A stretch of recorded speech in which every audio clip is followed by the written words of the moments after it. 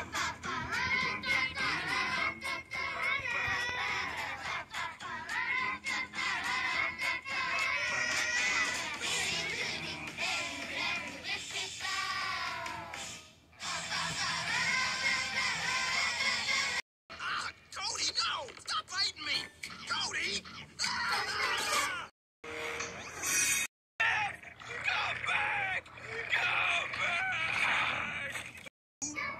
Keeps you safe at the petting zoo.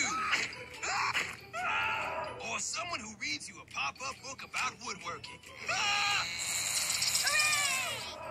or a person who opens jars for you. That guy! I am here to pick up a chef for adventure roleplay vacation. Okay, you're clearly having your own adventure. Bye bye. No, wait! This laser feels like it's getting